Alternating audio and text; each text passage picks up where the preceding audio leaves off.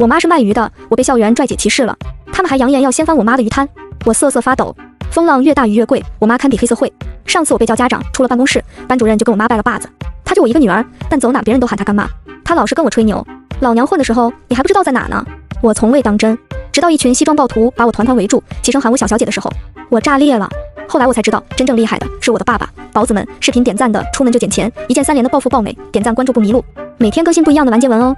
正文开始，鱼鱼这么可爱，怎么能杀鱼鱼呢？我小声诺诺地说。话音落地，我妈手起刀落，一刀破开鱼腹，掏肠刮鳞，一气呵成，剩我原地吓得大哭。这个叼着烟的老 baby 一边吞云吐雾，一边满意的瞅着我没出息的样子。这就是我十岁时对妈妈最深的印象。从我记事起，我妈就在菜市场杀鱼。大概帅一个人带娃不容易，我妈向来凶的就像个母夜叉。我一直觉得我妈是叛逆老女孩，而我是她捡来的，因为我和她的性格一点都不像。她杀鱼，我放生；我扶人过马路，她骂人老壁灯；她点华子，我掐烟；收摊喊雷灯的直冒烟儿。我俩总是水火不相容，但我在他嘴里也不是一无是处。每当我说理想是做警察的时候，妈妈总是给我爱吃的大嘴巴子，再加一顿言语嘲讽：“你那个包子样，你做警察准备气死谁？”妈妈的闺蜜李姨总是说我和爸爸的性格很像，但我问起爸爸是谁的时候，她又闭口不言。我妈说他是骗子，李姨说他是负心汉，成吗？夫妻俩没一个正常人。如我妈所说，我是个包子，但有我妈在，我还真的始终没有吃过亏，就是有点社死。周五放学的校门口总是人流攒动的，来回穿梭的人群中，我捧着一本物理书不住拜读，不是搞学霸人设，而是这样挡住自己，好歹只丢半张脸。大门口，其他接到孩子的父母都是嘘寒问暖，只有一个系着围裙、叼着华子的女士，靠在闪着五彩光芒的哈雷旁，左顾右盼。音响里还传来炸裂的音乐。惊雷，这通天修为天塌地陷紫金锤；紫电，这玄真火焰九天玄剑惊天变。我不知道宋女士的音乐审美为何如此歪门邪道，我只看见周围的目光，肉眼可见的透着鄙夷。在我老妈发现我的前一秒，我捧着书，整个人一头扎进了灌木丛，脚趾好累，我好憔悴。我的社恐也不是无迹可寻的，我妈占了一大半功劳。看着学生逐渐散去，正当我准备收拾收拾起身的时候，抬头与几个蹲在角落的太妹几目相对，她们嘴里叼着烟，目光轻蔑地审视着我。带头的女生我可太熟了，我在班里的死对头蓝梦书，仗着自己家境优越，收了一堆小弟，自称校园一姐，经常不是欺负这个，就是霸凌那个。我不理解，但我大受震撼。哟，这不是我们班的学霸吗？你也来一根？蓝梦书朝我伸出手，秉持着多说多错的原则，我只弱弱的摇摇头。没想到蓝梦书居然上前一把将我推倒在地，嘴里还念念有词。那你是打算告发我们？该不是上次在老师那告发我们的也是你吧？死贱货！我紧紧护着被推疼的胳膊，弱弱告诉他：求求你们别这样，等会我妈看见了，你们会吃不了兜着走的。我发誓，我没有威胁他们，因为比起他们，我更怕发疯的老妈。小的时候，我在公园被同龄小男孩掀了裙子，男孩妈妈还一脸无所谓的样子，言辞凿凿。小孩之间闹着玩吗？不就掀个裙子，有什么大不了的？只见我妈深吸一口气，我就知道这阿姨完了。我妈双手袖子一撸，上前就把阿姨的白裙子给掀到脑门上。公园的人都惊了，我妈也是一脸无所谓。大人之间闹着玩吗？不就掀个裙子，有什么大不了的？阿姨放下，我妈掀起来；阿姨放下，我妈又掀起来。更炸裂的是，男孩爸爸气势汹汹来为老婆讨回公道，愣是被我妈扯着苦叉子追了三条街，满公园都能听见他的叫骂声。来呀，不就是不要脸吗？来给大家都看看，别那么小气嘛！最后警察局调解出来，那家人就差打个飞的逃离我妈的攻击范围。而此刻，蓝梦书手里还拽着我的头发，威胁道：“你妈算个什么东西？我照样像蚂蚁一样捏死。”透过蓝梦书那伙人的身影，我看见我妈站在花园外，深吸了一口气。完了，这群人要糟了！你们这群小犊子，放学不回家，在这干什么呢？我妈几个大步就走进了花园。蓝梦书回头上下审视了我妈一眼，橡胶皮筒靴沾了些鱼鳞的围裙，一头染得通红的卷发。蓝梦书笑了，杨红星，我还以为你多体面呢，原来你妈就是个卖鱼的呀，真穷酸。学习好有什么用？没钱不还是靠卖鱼赚两个子？周围几个也是发出哄堂大笑，嘴巴还没张多久，就被我妈冲上去，一人给一个我最常吃的大嘴巴子，把手从我女儿头发上拿开。我妈气势冲天，蓝梦书一脸震惊的看着我妈，脸上霎时红了一块。你敢打我？打你就打你，还要挑日子吗？大概被我妈的气势吓到，蓝梦书手指着我妈的脑门，嘴里念叨着：“你完了，你完了。”说完，利索的从兜里掏出手机，拨通了电话。狗哥，我遇到茬子了，学校门口来，多带几个人，今天非得给他点教训。说真的，我有点害怕。蓝梦书一个电话摇来了十几个人，把学校门口小巷子围得水泄不通。特别是为首的小混混，满胳膊花臂，肚皮上还纹了个哆啦 A 梦，一看精神就挺不正常的，看着就心来了。蓝梦书也是遇见嚣张。杨红星，你瞧着吧，今天非得弄死你。那混混双手插兜，满脸不可一世。只轻蔑抬头看了我妈一眼，就扑通一声跪在我妈面前。我满脸问号，那小混混却搓了搓手，殷勤的笑：“干妈，你怎么在这？干妈，我妈怎么又背着我认儿子？这干儿子是批发的吗？我的干哥哥们用货车都快装不下了。”我妈努了努嘴唇，小混混的眼神立马懂事的转向了蓝梦书：“你说你惹谁不好？你惹我干妈，不想活了是吧？”蓝梦书瞬间被气得够呛。狗哥说好我给你保护费，你替我收拾人，你怎么出尔反尔？说帮你收拾人，也没说要帮你收拾我祖宗啊。蓝梦书不服，抬手要往我脸上还。狗哥眼疾手快，一掌将蓝梦书推得老远，整个人磕在台阶上。这下可把蓝梦书彻底惹恼了，抬手又拨通了灭绝师太班主任的电话。老师，我被人打了，你快来学校门口救我啊！蓝梦书手指着我们一群，嘴里愤愤着。你们完了，这次你们彻底完了。灭绝师太所到之地，寸草不生。蓝梦书敢向他告状，也是伤敌一千，自损八千。直到班主任拎着教棍，气势汹汹出现在校门口时，他扬起教棍，亲切给我打了个招呼：“嗨，我的干女儿，你怎么在这里？谁欺负你呀？”只剩蓝梦书风中凌乱。我妈不只爱认儿子，还爱给我认干妈，一个年级认一个，宠不完，根本宠不完。要说事情原委，还得追溯到前几个月的月考。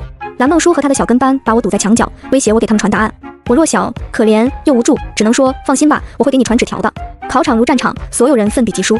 接近尾声，焦急等答案的蓝梦书捅了我后背好几下，我有些纠结，最后还是将纸条递了过去。蓝梦书满脸得意，小心翼翼地将纸条打开，只见上面寥寥几个大字：中午吃啥呀？作弊是不可能作弊的，我的高尚品德是不允许我作弊的。我说了传纸条，可没说传答案。结果这一操作把蓝梦书气得当场把我拎了起来，我俩差点动手。他脸憋得通红，和我一起被光荣叫了家长。我妈来之前，班主任脸黑得像皮蛋。没几分钟，两个人天南聊到海北。再看进去，班主任已经和我妈勾肩搭背。我妈走之后，我怯懦认怂，喊了声班主任，班主任却拍了下我的肩膀，喊什么班主任？你就是我那失散多年的亲闺女，来叫干妈，咬我干哥干妈来教训我。蓝梦书是懂摇人的，蓝梦书爱惹祸的体质，班主任不是不知道，大致了解情况之后，对着蓝梦书就是一顿教育。不说你偷偷抽烟，光说你和校外混混扯到一起，小混混扬了扬手，自己人自己人，以后我都听干妈的，不闹事。班主任哦了一声，改正道，光说你对红星暴力霸凌，我就能让你妈给你领回家好好反思。蓝梦书彻底怒了，你们这是勾结，欺负我一个人是吧？他又拿出手机拨通了电话，妈，我同学还有混混，还有我班主任都欺负我，你快来救我呀！看得出来他很喜欢摇人。蓝梦书收了电话，已是胜券在握。知道我妈什么身份吗？大富豪，跟校董都认识。你们完了，你们这次真的完了。我完没完不知道，倒是蓝梦书有点没完没了的。蓝梦书的妈妈确实不在一个段位，她先是给班主任打了电话，劈头盖脸一顿骂：你做班主任怎么能帮着学生霸凌我女儿呢？我要去教育局告你！告诉你，等我来了，你们一个都跑不了，每个人都得付出代价。我女儿千金小姐，娇贵身躯，岂容你们这样羞辱？直到一辆迈巴赫停在学校门前，从上面走下来一个身穿旗袍的贵妇人。妇人眉眼皆是高傲，气势不容小觑，踩着高跟鞋，在看到我妈的一瞬间，双眼微眯，对着我妈就是喊了句：“姐姐。”蓝梦书又凌乱了，同时凌乱的还有我。蓝梦书妈妈的目光顺着挪到我身上，眼眶瞬间就红了。这是杨诺的女儿。我妈点点头。马雅婷瞬间就眼含热泪了，喃喃道：“长得真像。”我捅了捅我妈的胳膊。这谁？我妈摊了摊手。你妈的情敌马雅婷。复杂了，更复杂了。方才还盛气凌人的马雅婷，在了解事情原委之后，也不再是那副高傲的面孔。蓝梦书还不依不饶，凭我妈的实力，弄死你轻轻松松。杨红星，我看你还敢不敢猖狂？而马雅婷只淡漠说道：“今天是看在杨木的份上，我给你们三分薄面。”就在我们都疑惑三分薄面到底有多薄时，马雅婷拎起蓝梦书的胳膊，照着屁股就是一脚。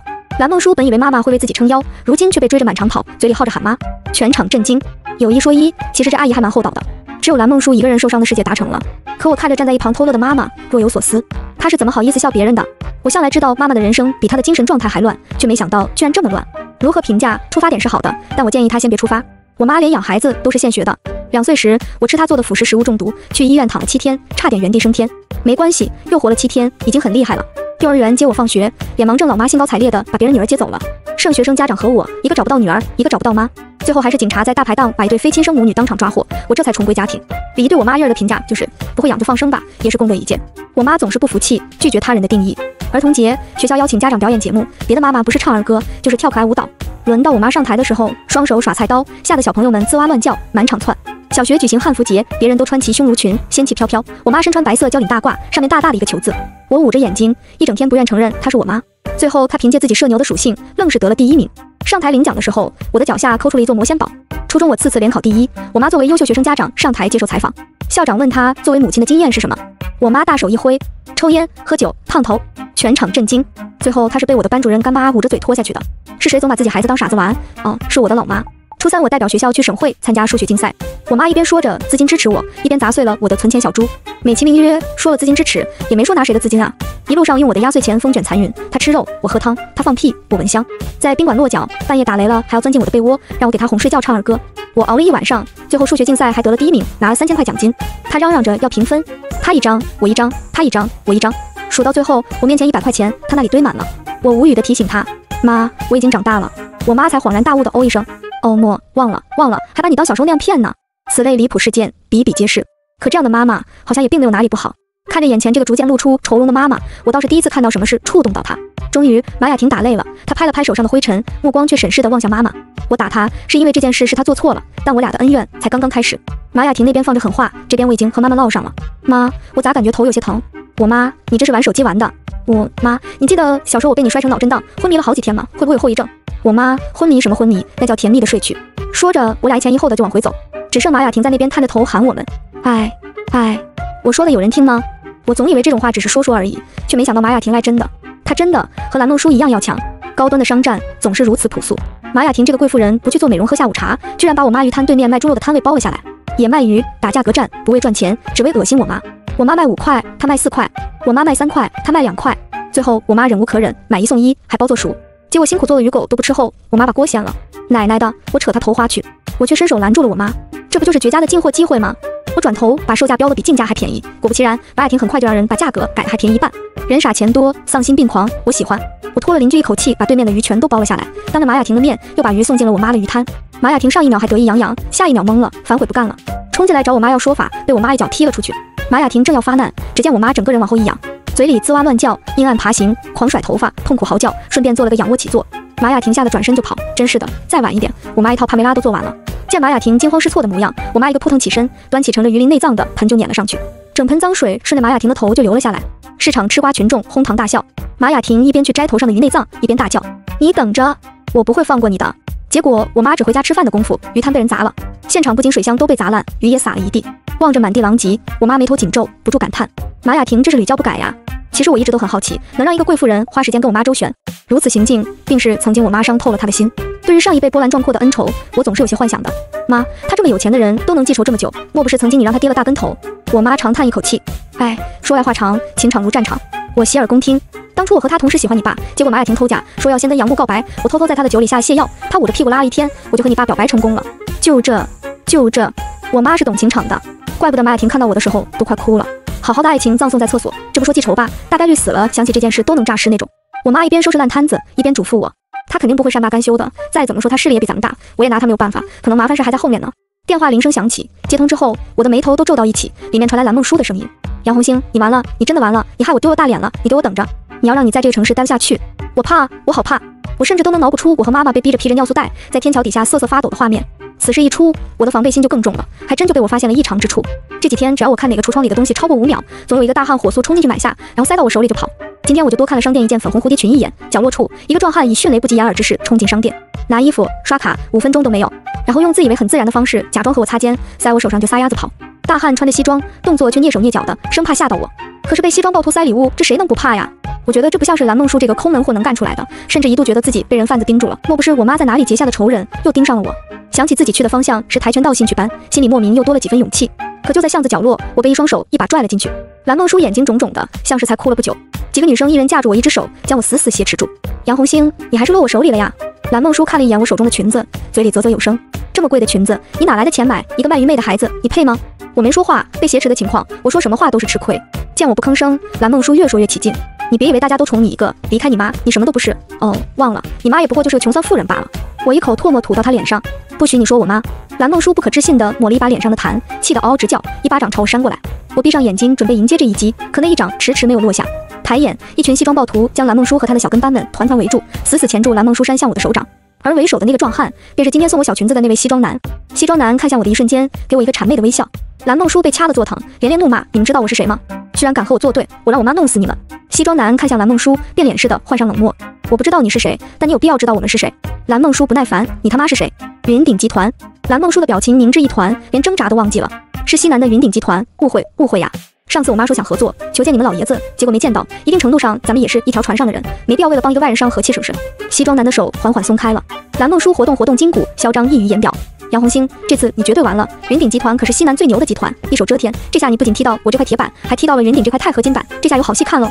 我手指卷着衣角，不知所措。蓝梦书嘴里还是振振有词：“你一个卖鱼妹怎么敢的呀？自己什么身份没点数啊？记住，社会是会教你做人的。”话音刚落，为首的西装男突然躬身，在他的带领下，一众西装男对着我深深鞠躬。小小姐好，我懵了。小小姐，你们什么意思？是不是搞错了呀？他就是卖鱼妹的孩子啊。蓝梦书震惊地指了指西装男，又指了指我。在他还没来得及想明白的情况下，就被几个西装暴徒拖了下去。西装男冷声命令，要他妈来领人，给我们小小姐一个交代。然后我就看着蓝梦书被架着胳膊拖着腿出了小巷子，叫喊声越来越远。我后退半步，试探性问他们：“你们是谁呀？我不认识你们。”那人回道：“我们与您的母亲颇有渊源。”看来还真是我妈欠下的债。我拔腿就跑，几乎同一时间，那群人也拔腿追了上来。我边跑边叫：“放过我吧，我还只是个孩子！你们去抓我妈，抓我妈妈就不能抓我了！”回头间，我差点就把一个老爷爷撞飞。那人身边的男人将我扶住，我才没仰头摔下去。我颤颤巍巍：“别讹我，我没钱，有账记我妈头上。我妈是综合市场三十六摊位。”老爷爷满脸堆笑：“你这甩锅的模样，简直和你妈像极了。你就是杨红星吧？你是？我是你外公。外公？我妈不是说我外公被驴踢死了吗？我哪来的外公？”我不禁问道。老人的嘴角明显抽搐了一下，一脸无语。我警惕性的看向他，满是皱纹的脸上虽有些沧桑，却还是掩不住的俊朗。眉眼之间，确实和我妈是像极了。我妈小名叫什么？狗蛋儿。妈呀，外公复活了！这嫌丢人的小名，除了我妈的家人，怕是也没人知道了。我一把抱住了他，我居然有外公了！激动之余，外公的眼泪也顺着流到了我的肩膀上，就像巨大的释怀过后的谢晋。小老头的腰杆苦涩的佝偻着。走，外公带你回家看看。看着他那可怜兮兮的模样，我甚至起了让他去我们出租屋挤挤的念头。年纪这么大了，身边没个依靠，过得该有多苦多清贫啊！可就在我站在外公家门口的时候，我瞬间给了自己一个大嘴巴子。巨大的城堡映入眼帘，成排的仆人守候在道路两边。而之前追逐我的西装暴徒们站在门口，对着我鞠躬，欢迎小小姐回家。我拉了拉外公的衣角，我不会在做梦吧？外公牵着我的手，你喜欢吗？外公就知道小姑娘喜欢城堡，这是刚来这个城市买的，在西南。外公还有好几座庄园呢，未来都是你的。我才知道，在我妈口中种田途中被驴踢了脑袋，不治身亡的外公，其实是云顶集团的董事长，亿万身家，呼风唤雨，年老力壮。外公就他一个独女，宠得像个手心宝。可我妈却选择在身怀六甲的时候，毅然决然和他断绝父女关系。那时他正怀着我，却一分财产没要的去了另一个城市，独自打拼，吃尽苦头。这么多年来，外公一直在找我们，可每当外公查出点消息的时候，我妈总会换个城市生活。外公轻轻叹了一口气：“你妈恨我，但我是有苦衷的，可我不能说。我没有哪一刻不是想你妈，想你的，可我身上的担子太重了，一刻都不能放下。我也不知道该如何去评价他们之间的恩怨，毕竟我不知全貌。可这么多年了，我妈没有一点想念外公吗？”回到鱼滩的时候，我妈正在招呼几个客人，从水箱里捞出鱼，砸晕、剖腹、去鳞，十几年的重复让我妈动作娴熟至极。看着她红发掩盖下的银丝，我心里酸酸的。谁能想到她曾经也是生活在庄园里的公主？我张嘴正准备说什么，一双红色高跟鞋停留在摊前。我抬头望去，是马雅婷。他眼眶红红的，眼底是掩不住的怒意，开口便是质问：孩子之间的纠葛，再说我都已经教训他了，有必要再找孟叔的麻烦吗？拿老爷子压我，亏你做得出来。我妈的动作停顿，放下了手中的刀。你什么意思？片刻，他又看向了我。你是不是见谁了？我不打算隐瞒他。我见到外公了，蓝孟叔挟持我，想打我，是外公救了我。你胡说。孟叔向来乖巧，肯定是你先惹的他。马雅婷厉声呵斥，这下惹得我妈更不高兴了。今天你来就是给我女儿扣大锅的吗？如果是这样，请回吧。马雅婷双手紧攥，面色纠结，片刻终是弯下腰来，对着我鞠了一躬。对不起，是我的错。按老爷子的要求，我给你道歉，求你们放过孟叔，他只是个孩子。我有点懵，原来外公说的交代就是让马雅婷当面给我道歉。显然马雅婷口服心不服，但还不得不服。我有些无语，看住蓝梦叔，让他少出来祸害人，谁都不会为难他。马雅婷喉间哽咽，最后只沉沉嗯了一声。临走时，那双眼死死盯了我好久。马雅婷走后，我的目光重新向妈妈投去。妈妈，为什么你要骗我说外公死了？我觉得外公人很好啊。我妈冷哼一声，你知道他是做什么的吗？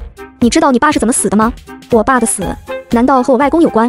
妈妈甩手使劲在围裙上擦了又擦，对着那几个顾客连连道歉。对不起，家里有点事，今天先收摊了。满脑子不解中，我妈拉着我的手就往家赶。可刚到家门口，我直接震惊了。楼梯、门口泼的全是红漆，大门敞开着，像是被暴力破拆。我大步向前，直往家里冲。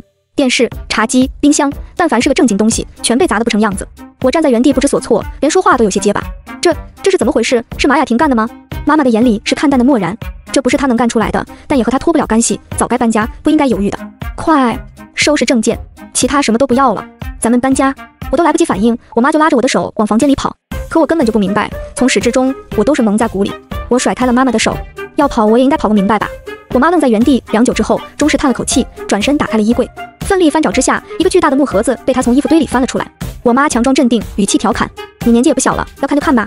你妈那些非主流过往。”我将手缓缓地放上了木盒，打开的瞬间，一排略微发黄的老照片映入眼帘。照片上是爸爸和妈妈的合影，妈妈穿着丝绸礼服，头发卷得一丝不苟，耳朵脖子上的珠宝熠熠生辉，身上散发的贵妇气质丝毫没有非主流的感觉。而爸爸站在妈妈身旁，穿着朴素，眼里却全是妈妈。照片内容很丰富，妈妈在马场上策马奔腾，妈妈在晚会上莞尔一笑，妈妈在鲜花簇拥下提着裙摆。我把照片和眼前的妈妈比对了又比，实在是找不出妈妈曾经半点的风采。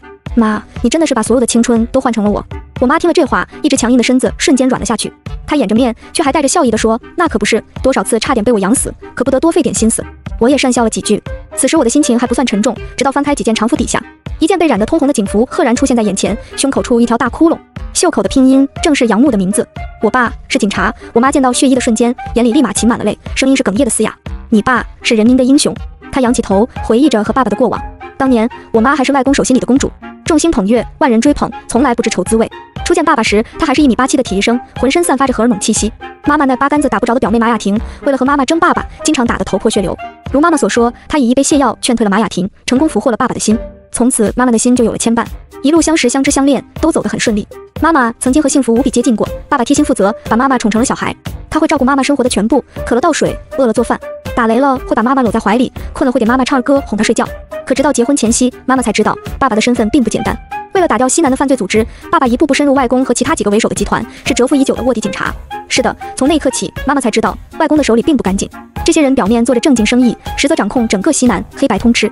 但奇怪的是，爸爸的目标却好像并不是外公，甚至和外公走得更加亲近。和妈妈在一起的这几年，西南的犯罪组织一个个被击破，这也彻底惹怒了隐藏的龙头老大。爸爸几次险些丧命，妈妈提心吊胆。在得知自己怀孕之后，妈妈彻底慌了，她跪着求他，求他不要再做卧底了，就做一名普普通通的警察。爸爸答应了，爸爸也食言了。为了挡住刺向外公的一刀，爸爸当场倒地不起。我妈在见到爸爸尸体的时候，哭得几乎昏厥过去。为此，我妈恨透了外公，恨他手染血污，恨他间接害死了爸爸。一纸断绝关系的书信，将两个人的恩怨彻底斩断。说完，我妈已经掩面哭泣。我知道妈妈最恨的是她自己。我抬手轻轻抱住了她。妈妈，不怪你，你别忘了，我爸是伟大的警察，就算外公不是你的爸爸，他也会舍身相救的，这是他的使命，并不是你害死了他。我妈彻底放声大哭，从来坚强的不曾落一滴泪的铁人，此刻哭得像个孩子。你知道吗？妈妈这些年来被多少人骚扰过？为了把你平安养大，妈妈不得不伪装起来，一步步逼着自己强大，逼着自己疯癫。我又何尝不知，那个像小孩的妈妈也是她的一部分，是责任吸干了她的青春，逼着她变成另一副模样。当年我背井离乡，断绝关系，一方面为了你，一方面也是为了你外公。自从那群人知道你爸爸卧底警察的身份之后，就没打消过灭口的念头。我带着你东奔西走，就是怕这一天的到来。就在这时，妈妈手中的电话铃声响起，在杂乱的房间里显得十分刺耳。陌生号码，我点了接听，里面马雅婷语调冰冷，仿佛来自地狱。喜欢我送你的礼物吗？大礼还在后面呢。我妈满脸不可置信，马雅婷，好歹曾经我们也是姐妹，你何必置我娘俩于死地？可马雅婷却是语气平淡，本来打算让你们再多活段时间的，谁知道你们太讨人厌了，组织这么多年都在找你们这对漏网之鱼，我可是立了大功，你居然也是犯罪组织的爪牙？不然呢？你以为我这些年来如何一步步做的这么大？不过比起你爸来，还是小巫见大巫啊！我妈牙齿紧咬，你这样是会遭报应的。马雅婷却笑了，要遭报应也是你爸先遭，我还早着呢。可我却察觉一丝不对劲，你会跟我们说这些，应该是没打算给我们留活口吧？电话那边，马雅婷笑得猖狂。优等生脑子就是好使啊，下辈子见吧。通话界面戛然而止，我妈拉起我的手，我以为下一步她该带着我逃跑，结果她打通了外公的电话。爸爸，危急，求捞捞！我一整个外公的家里，我妈、我外公还有一个身穿警服的警察面面相觑。我妈将手机里的录音放给警察听，神色凝重。果然，这个城市后来崛起的团伙都是西南那边来的。这一炸之下，把马雅婷这只害虫炸出来了。他们伪装的太好了，把他们揪出来还真不容易。我伸手打断，等等，这怎么回事？警察同志对我笑得怯然。小同志，这还不明显吗？你外公、你妈妈都是我们的卧底线人。这些年来，在你外公的帮助下，我们捣乱了众多犯罪组织。而你妈妈为了继承你爸爸的遗志，坚决加入组织。十几年来，哪个城市出现苗头，她便出现在哪个城市，为我们传递情报，击碎黑暗。传递情报？你一个卖鱼的怎么传递情报？我妈捅了我一下，啧，亏你还是学霸呢。听说过大楚星、陈胜王吗？我骑着哈雷穿梭在各个街道的混混中间，我那些干儿子们什么都跟我说，这些人消息最灵通。搜集到相关信息后，我就等待接线人来我鱼摊买鱼，把信息塞进鱼肚子里，神不知鬼不觉。高，实在是高，都是明白人，合着小丑竟是我自己。我转身问我妈，那你当时那么煽情的回忆算什么？算你好骗。我无语凝噎，我妈却拍了拍我的肩膀，那不是觉得你演技太差，怕拖后腿吗？现在任务接近收网，你可以知道了。四个人八目相对，我认怂了，吵也吵不过，打也打不过，谁让我妈是流氓呢？接收到我妈的消息，警方迅速对马雅婷展开调查。顺藤摸瓜，竟然扯出一张大网，将计就计。但凡和马雅婷有过接触的，都安排人进行布控。这么多年的布局，就是为了今天。早前马雅婷完全是靠老公的势力，自从老公去世后，她便始终处在被排斥的边缘。她太渴望得到重用了，于是乎，马雅婷给黑恶势力传一次消息，就被打掉一窝；连传几次消息，黑势力差点被连锅端掉。黑恶龙头势力元气大伤，马雅婷无端背锅。刚开始几天，我们还能收到马雅婷的威胁短信，再后来，应该是自顾不暇了。这些玩黑的发现马雅婷比自己还黑，于是发出了追杀令。蓝梦书家的豪宅前一片狼藉，人去楼空。再然后，一具被虐杀的女尸出现在大桥底下。合着这么聪明的女人，最后被恋爱脑拖累了，就为了点无聊的博弈，把自己搭了进去。不过这一切都是早晚问题，为黑恶势力做臂膀的没一个好下场。马雅婷就是最好的注解。马家一夕之间从豪门大户变得土崩瓦解。再次见到蓝梦书的时候，是在我的新家门口。她怯生生的满身尘土，见到我时瞬间哭出了声。求求你为我妈报仇。作为中华民族的好公民，秉持着善良的品质，我给了他几个馒头，没想到他哭得更大声了。真的，我几天流离失所，看着我妈被这些人虐杀，我九死一生才逃出来。我已经走投无路了，再这样下去，还是会被他们杀的。我知道他们的根据点在哪里，你们能不能帮帮我？刚走出家门的我妈，正好撞见了这一幕。蓝梦书扑通一声跪在我妈面前，阿姨，以前都是我的错，只要你肯让警察叔叔给我妈报仇，我做什么都愿意。我妈连忙扶起了他，我带你去见警察，把你知道的一五一十说出来。蓝梦书眸子里闪着光，警察局里叙述十分详实，警方立马调动了大批警力前往蓝梦书说的那个地方。时间一分一秒的过去，焦急等待的我妈还在自我安慰，等这次收网成功，我们就能好好生活了。可偏偏天不遂人愿，一通电话让我妈瘫倒在地，派出的警力被埋伏了，全部牺牲。话音刚落，蓝梦书猖狂笑出声来：“妈妈，我终于为你报仇了！这些贱人们永远没有安生日子过了！你骗我！”我捂着嘴，使劲控制自己的表情。我妈抓起他：“不可能的，怎么会被埋伏？他们杀了你妈妈呀！你怎么能为他们办事？你一定在骗我！我不信！不然你以为他们怎么放我走的？想不到吧？我其实一直就在警察局附近的废弃工厂里，和他们盘算着怎么报复你们这群蠢东西。害死我妈的不是他们，是你们这群蠢东西！只要报复了你们，他们就许诺继续给我富贵的人生。”我妈瞬间脸的悲痛，拿起手机轻咳一声：“听见了吧？行动！”随即，他又用胳膊捅了我一下。你刚才差点笑出声，就知道你不靠谱。我嘴角憋得抽搐，终于能放声大笑，哈哈哈哈哈！第一次骗人，太紧张了。你们这是蓝梦书还是那副蠢样？蓝梦书太不了解我妈这个人精了，全身一百一十斤，一百零九斤都是心眼子。我家才换的新地址，你一个小丫头片子，怎么知道我们住在哪的呢？除非那些人告诉你的。哎，你和你妈那种脑子，何必为难自己干这个呢？蓝梦书不可置信，刚站起来就被手铐铐住。蓝梦书，你这次才是真的完了。随即好消息传来，那些组织首脑正聚一起搓麻将呢，就被连锅端了。迎接他们的将是最严苛的审判。我知道以蓝梦书的年纪不会被判罪，但少管所在等着他。即使日后他出来了，等待他的也将是无边的黑暗。莫伸手，伸手必被抓；莫拿人生赌，与虎谋皮的后果便是连骨头都剩不下。多年后，我考上警察学院，还没一年，我因为品行不端被学校开除。